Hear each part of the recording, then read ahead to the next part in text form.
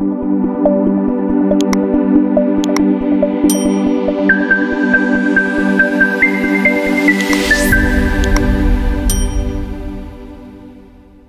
CEM de abrite, euh, polarise beaucoup de villages environnants.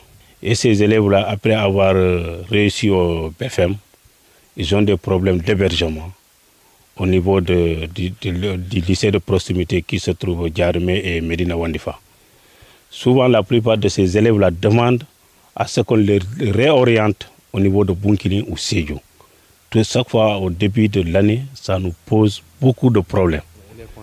Les conséquences, c'est que, finalité, il y a même des élèves qui vont jusqu'à abandonner. Abandonner les, les- les- les salles de classe. Parce qu'ils n'ont pas trouvé de tuteur à leur lieu d'orientation. Nous, au début, on était confrontés à des problèmes de salles de classe. Mais Dieu fait que, avec le programme Zéro Abri de, de- de- de- l'État, nous avons bénéficié huit salles de classe équipées en table banc et en matériel, en, ta- tableau noir. Donc, on s'est dit que maintenant, l'établissement est prêt à recevoir un, lycée. Vraiment, nous demandons à ce que l'État, l'autorité administrative qui se trouve de proximité, l'IF, l'IA, jusqu'au ministère, le CEM de a vraiment besoin d'un lycée. S'il le faut même, dès l'ouverture, qu'on nous ouvre une salle de seconde.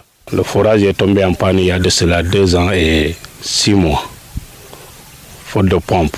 C'est le pompe qui était tombé. Et ça a trouvé que l'eau aussi n'a pas de la bonne qualité. L'eau rougeâtre, nous l'avons toujours déploré devant les autorités administratives comme politiques. Ils se sont tous informés et on n'avait eu que des promesses pour la réfection, soit la construction d'un nouveau château d'eau. Voilà la doléance majeure de, de la population de N'Djama. Une population qui compte à nos jours plus de 3000 âmes vivent dans ces conditions depuis deux ans, trois, voire trois ans, sans forage. On, on- on ne vit que l'eau de- de- des puits. Là, vraiment, c'est à revoir.